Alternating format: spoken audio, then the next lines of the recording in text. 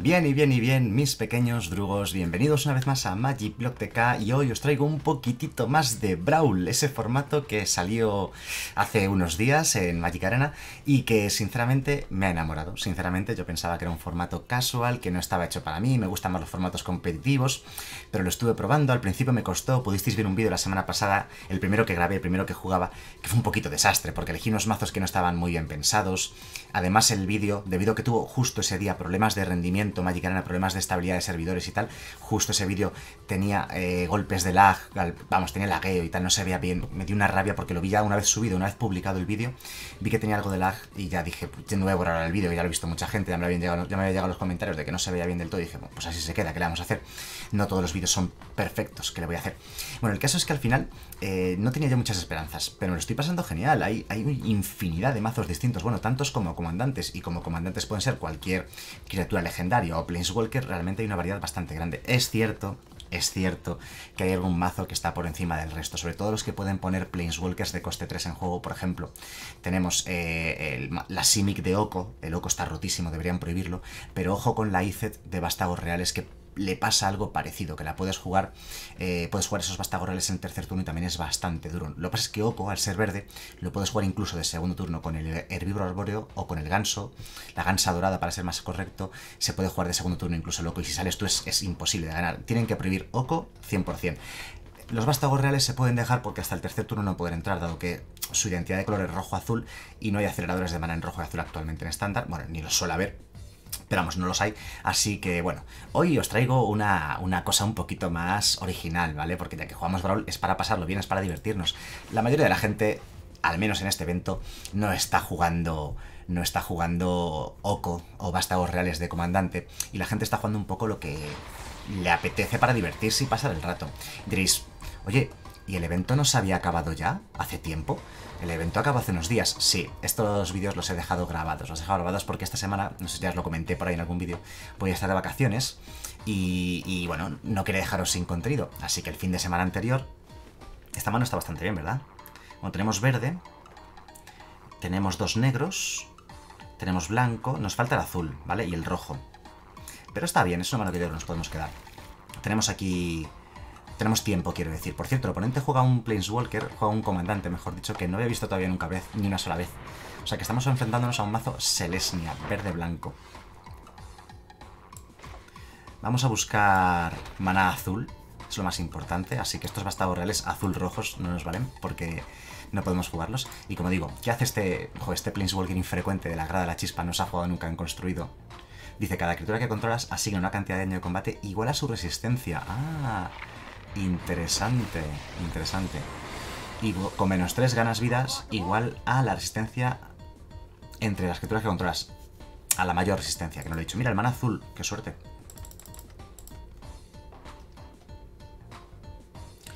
Mm, no podemos hacer nada con la mano que tenemos. Creo que voy a jugar tierra girada y ya está. Claro, justo le ha salido la, salida divina, yo creo que de su mazo. La salida super bestia, porque hacer mana ganso, mana tello. Ahora juega la Huatli. Buah, le sale súper bruto. Nos pega de. Fíjate, ahora que nos pega ahora. Tenemos que darnos mucha prisa si queremos sobrevivir a esto. Y de hecho. De hecho, con los estragos de Angrath no podemos hacerle sacrificar el Planeswalker que más nos moleste. Bueno, más tokens 03 no puede poner. Uf, si jugamos el mana azul enderezado, la verdad es que aquí...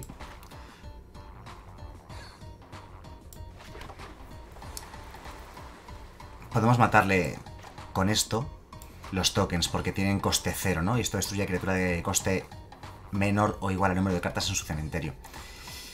Aunque quizás lo más inteligente sería buscar tierra, ¿verdad? Y quizás hasta ponerla en juego enderezada no nos vale. Venga, va, pasamos turno, que me estoy aquí... Como, lo cierto, eh, no es nada complicado de jugar porque tienes tantas opciones en cada turno, sobre todo en estos mazos, por ejemplo, Pentacolor de Nimicer, o el suyo mismo, como tienes una cara extra, digamos, entre comillas.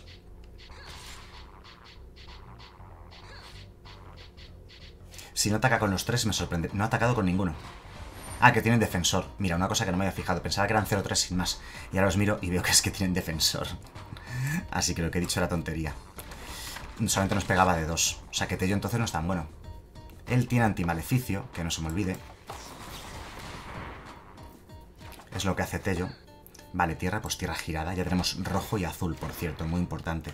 Así que podemos jugar el Limicet, creo, el siguiente turno. Ahora sí que sí, con esta tierra sobre todo. Vamos a quedarnos esa tierra. Es muy buena para este mazo. Tenemos algunos costes un poquito complicados. Y Limicet va a sembrar aquí el terror en las mesas. Vamos a ver. Bueno, tenemos que elegir una de las dos. Supongo que lo más inteligente es el barrio temporal, ¿verdad? barremos la mesa y nos subimos el, en lugar de la maga guardianarite, vale, con Nimicete puedes buscar de las 10 del top de tu biblioteca una de cada gremio, ¿no? Entonces tenemos dos del gremio Azorio, elijo una de las dos, voy a cogerme el barrio temporal y nos subimos de nuevo el límite de la mano.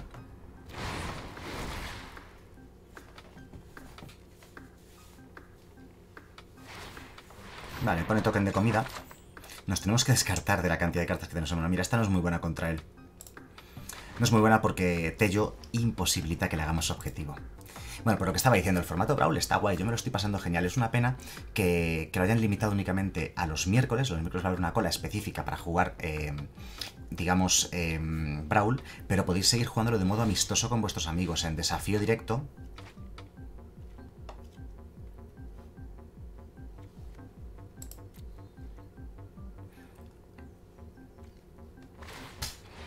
Vale, decide girarnos el este. En desafío directo se puede jugar o sencillamente en la cola de jugar amistosa, si jugáis un mazo Brawl, automáticamente es Brawl. Vamos a matar todo, ¿no? ¿Por qué? Pues porque podemos. Nos subimos el Nimicet y lo podremos jugar otra vez por coste 5 el siguiente turno. A la mano. Decide conceder. Realmente aquí estábamos obteniendo muchísima ventaja de cartas contra la que el rival pues quizás seguramente no iba a poder hacer nada, ¿no? Subimos el límite de la mano, lo podríamos volver a jugar por coste 5 desde la mano. Ya sabéis que si te lo matan o te lo exilian o, bueno, si vuelve a la zona de mando y lo quieres volver a jugar desde ahí, hay que pagar dos adicionales, ¿no? Entonces por eso hay ocasiones en las que te conviene que tu comandante vaya a la mano, vaya al cementerio, etcétera, etcétera. Mira, ahora jugamos contra otro coste 5 que es Nicol Bolas, como podéis ver lo que estaba comentando. Todo el mundo podría estar jugando Oco y ganar todas las partidas o, o vástagos reales o cosas por el estilo abusivas. Pero no, la gente está jugando for fun, está jugando para divertirse y se nota. Ya tenemos una mano bastante, bastante buena. No tenemos Oco de segundo turno, pero sí lo tenemos de tercer turno, que es muy absurdo también, igualmente.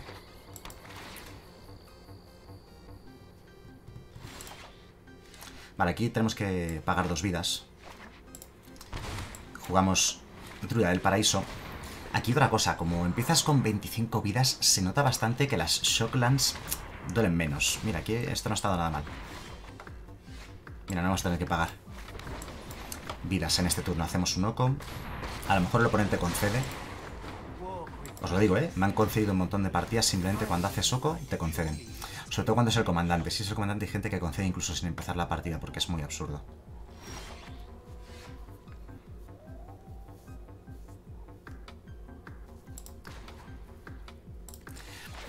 Supongo que convertir esto en un 3-3 y atacar no es mala idea tampoco, ¿no?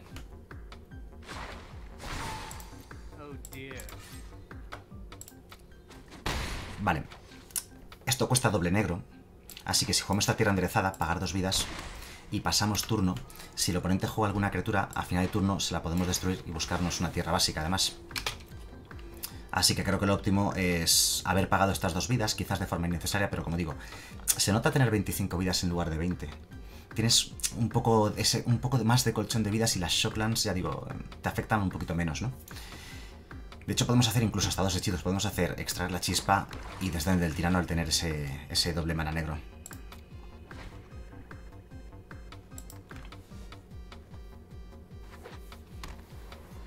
Vale. Uh, no me esperaba eso, la verdad.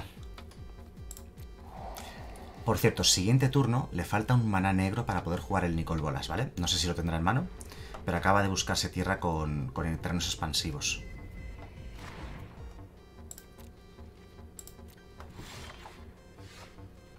¿Tenemos todos los colores? Sí, la verdad es que sí.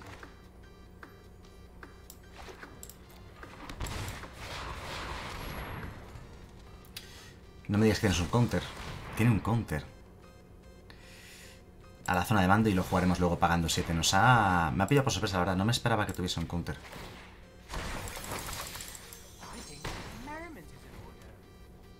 Ahora en el siguiente turno, ojo, nos la lía porque él puede jugar Nicol Bolas y empieza a obtener... Nos puede destruir Oko con ese Nicol Bolas.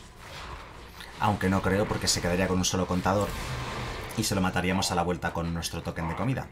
Bueno, ya no es un token de comida, ya me entendéis. Sí lo hace, sí. A ver, la verdad es que es muy abusivo esto, claro. Vamos a matarlo.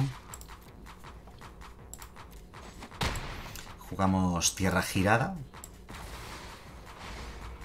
Porque no podemos hacer nada más. Y pasamos turno. Y a ver si el oponente decide jugar alguna criatura para que nosotros podamos aprovecharnos de ello.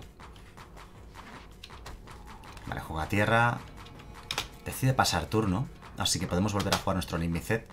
Y esperemos que esta vez no lo contrarreste. Aunque todo, apuesta, todo apunta a que nos lo va a contrarrestar. Voy a jugar, voy a atacar primero. ¿Tendrá otro counter? ¿Qué creéis?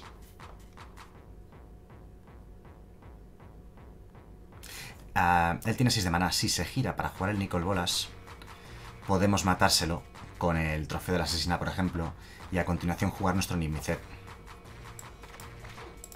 Pero vamos para adelante. Aaron ionizar. Es lo que os digo. No quería quedarme esperando, no quería ser ahí en plan cobarde y convertir una partida súper larga innecesariamente. Mira, interesante. Es vuela, toque mortal, anti-maleficio. Atacamos. Y si acepta el intercambio, que no lo creo. Mira, sí, bloquea. Vale, pues intercambiamos. Jugamos tierra.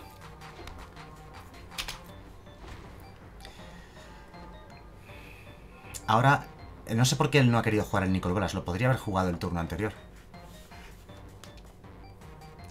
Lo malo del trofeo de la asesina es que le damos una tierra. Por lo tanto, facilitamos que él pueda volver a jugar ese Nicol Bolas. Si me hubiese quedado enderezado sin jugar esta habría sido tontería.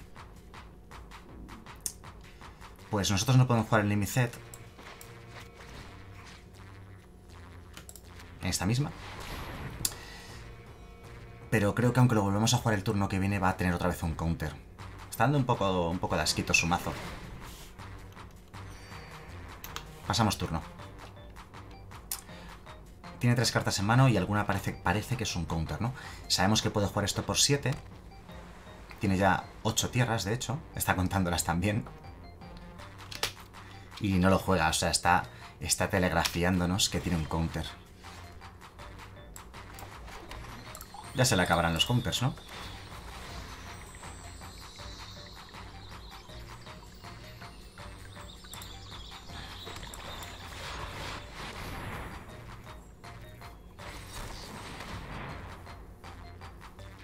Si robamos tierra otra vez, podemos volver a jugarlo.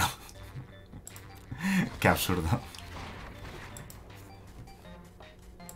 A lo mejor ahora sí que se anima a jugar su Nicol Bolas. Sí, ahora ya sí que se ha animado, perfecto. Sacrificaremos la ficha de comida, ¿no? Sí.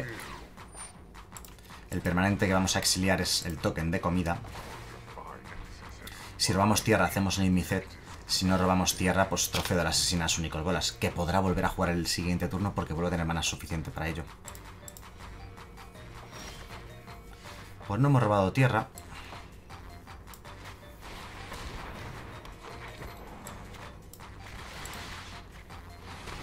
Tenemos que matar eso. Sí o sí.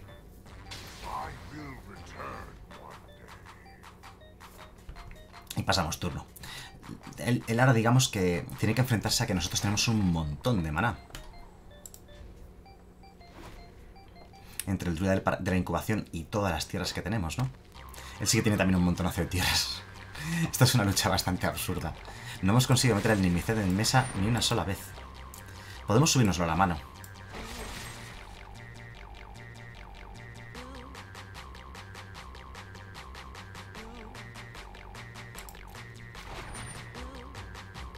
Pero no me fío. Vamos a dejarlo matar. Vamos a dejarlo morir, quiero decir. Porque si él tiene algún tipo de criatura y me gasto el removal, lo voy a, lo voy a lamentar, ¿no?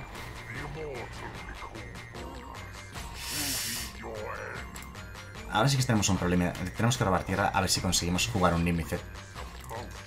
No hemos robado tierra. A ver si con el optar... Ahí está la tierra.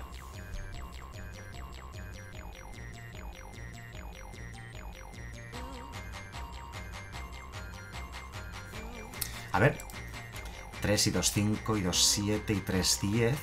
Esto cuesta 11. Necesitamos una tierra sí o sí. Me puedo arriesgar a ver si... Me voy a arriesgar. Me voy a arriesgar. Profundizando a ver si encontramos alguna respuesta. Vale, más mana. Estos son dos de mana. Así que incluso si ahora activa el Nicol Bolas... Nada, vamos a descartar los brotes de la muerte si no tiene criaturas. Y si vuelve a tener un counter, pues habremos jugado cuatro veces nuestro Nimicet y habrá sido contrarrestado cuatro veces. Buah, buscándose entre siete cartas seguro que encuentra un counter. Qué asco de partida. Lo siento porque no me gusta que las partidas sean tan, tan largas y tan pesadas. Sobre todo sin interacción, ¿no? Porque el oponente se ha limitado a no hacer nada y solamente contrastar todo. Uh. Creo que es la primera vez que lo veo usar para hacer sacrificar un artefacto. Quedan cinco tierras enderezadas. Tenemos que robar tierra. Mm, ya no nos sirve.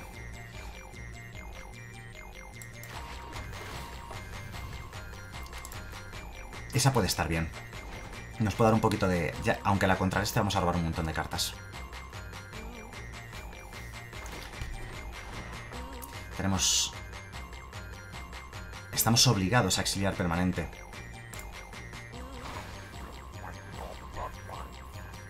Así que nuestra crisis va a ser de 9 de maná, o sea, va a ser 7-7. ¿O no? 6-6 ahora. Qué duro. Qué duro, qué duro porque no nos ha dejado jugar nada, Juan. Han sido todo tontes.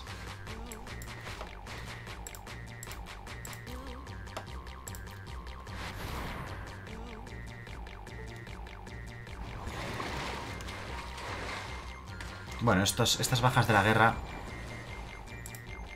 pueden ser divertidas.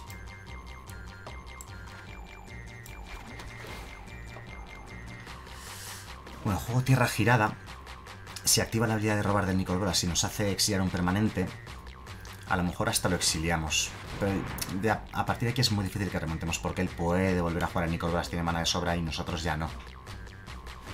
Es posible que nunca más podamos jugar este límite que cuesta 11, ¿no? Tenemos 9. A ver si nos mata la Crasis. No. Esto contrarresta cualquier hechizo. Y cartas en el cementerio tiene 11. O sea, con esto podemos contrastar cualquier cosa. Y con esto podemos destruir cualquier cosa. Creo que me voy a arriesgar y me voy a quitar una tierra. ¿Y qué tierra me voy a quitar? Venga, esa misma.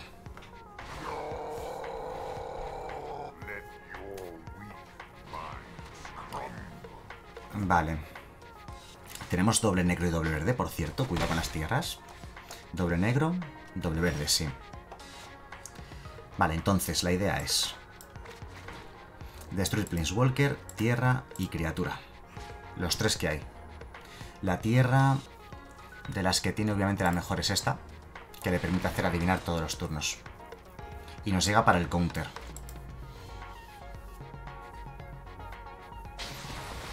Vale, él no ha tenido counter esta vez porque nos ha hecho un montón de counters. Le cuesta 11, igual que a nosotros. Y tiene 3, y 5, 8, y 5, 13.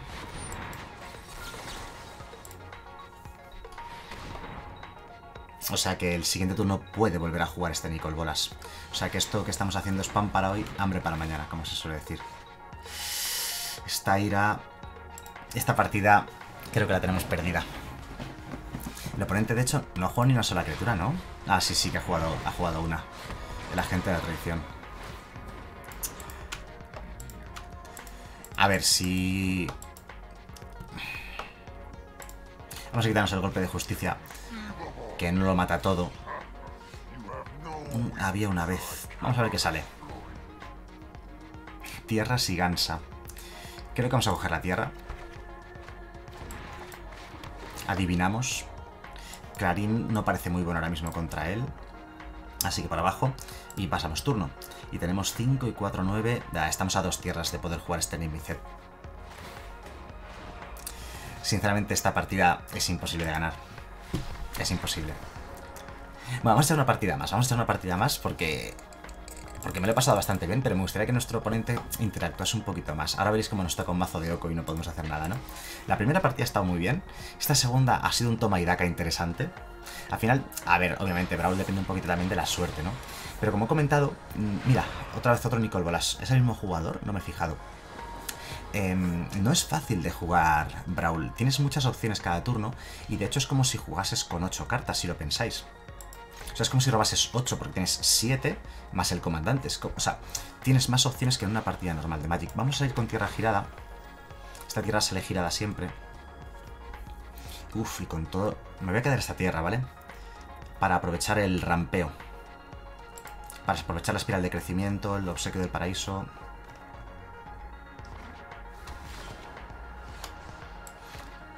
Vamos a pagar dos vidas ahora.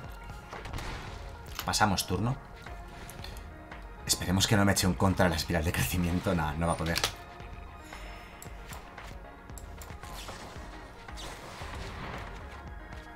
Ponemos tierra girada en juego. Vale. La verdad es que nos hemos rampeado bastante. Dos manas de un color cualquiera. Tiene que ser de un color obligatoriamente, vale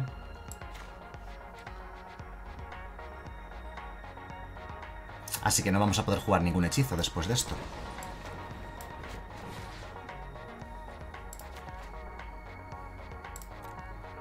Que pague como quiera.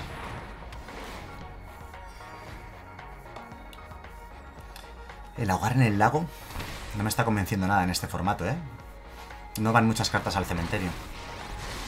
Esto puede ser doloroso. Esto no dirá robar, ¿no? Por cada par de color elige una carta. Vale, pues vamos a ello. Tenemos manada de cinco colores distintos, supongo. Azul... Vamos a ver.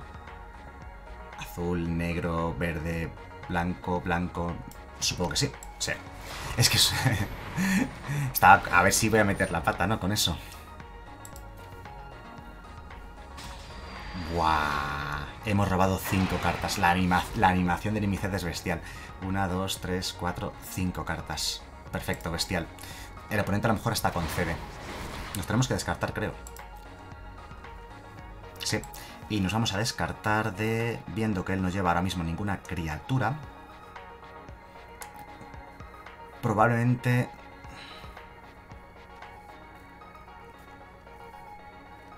Los brotes de la muerte. Ah, y nos tenemos que, descartar de dos. Probablemente ahogar en el lago. Es que no le vamos a sacar partido a esa carta. Ya veis, no, hay cementerios. No, suelen ir muchas cartas al cementerio en este formato. Es por lo menos la sensación que me está dando últimamente el juego. Vale. Lo vamos a mandar a la zona de mando y así lo podemos jugar luego por 7. Mira, tiene un counter. Me imagino que este counter lo mostró antes y un Jace. Vale. Este counter lo debí mostrar antes si no me fijé, sencillamente.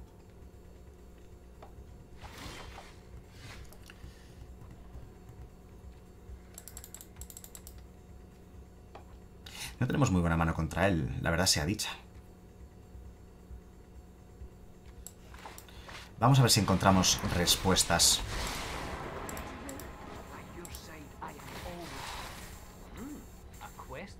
Vamos a descartarnos. Lo he hecho genial, o sea, acabo de activar... Es que es todas las partidas igual, con todos los Prince Walkers siempre hago lo mismo, así que no me digáis nada. en los comentarios, por fin. que ya me lo sé. Voy a, a quitar el barrio temporal. He jugado de lujo, como siempre, suele ser habitual en mí. Y vamos a jugar una tierra girada. Y pasamos turno. O sea, acabo de regalar una carta, lo sé. Podríamos haber hecho un más 2 más 0. Ah, no es obligatorio.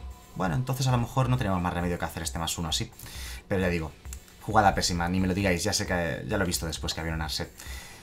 Es que hay que fijarse en tantas cosas le podríamos quitar este caño de los muertos de con la, el trofeo de la asesina.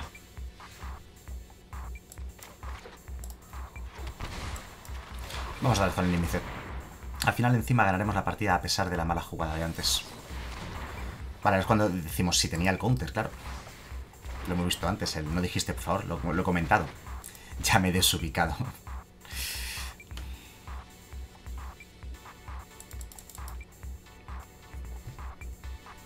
Me tendría que descartar una carta para subirlo. No me quiero descartar una carta solo para subirlo. No vamos a ganar la partida por hacer el menos 8. Es más, con, mientras esté en esa set no vamos a poder hacerlo.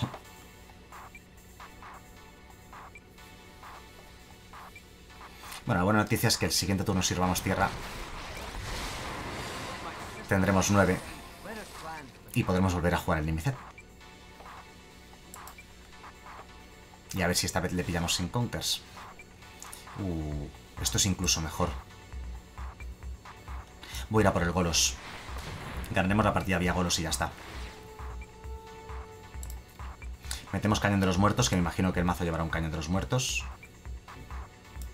Aquí está el cañón de los muertos. Y empezamos a poner tokens. Vale, y de hecho... vamos a jugar un de la incubación. Y así tenemos más mana el siguiente turno. Y no activamos los vástagos reales. No, porque se me ha olvidado, porque tendría que haber hecho el más uno del más dos más cero. Madre mía, ya, en cuanto al momento que he fallado lo de la Narse de antes, ya me he descolocado totalmente y ya he empezado a hacerlo todo mal.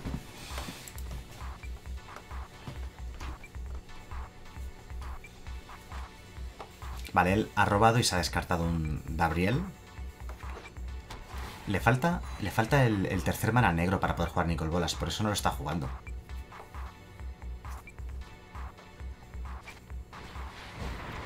Vale, nos mata el druida de la incubación. Pero nosotros ahora lo que sí que tenemos que hacer es empezar a matar...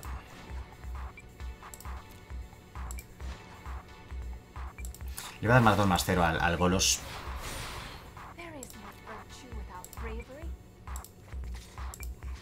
Le vamos a matar sus vástagos reales, que creo que son más peligrosos ahora mismo. Y veremos si no tiene counter. Si no tiene counter, y conseguimos meter el límite en mesa. Vale, pues al final, a pesar de esta Narset, que ya digo, me ha estado fastidiando antes que me he equivocado para no variar, el oponente concede.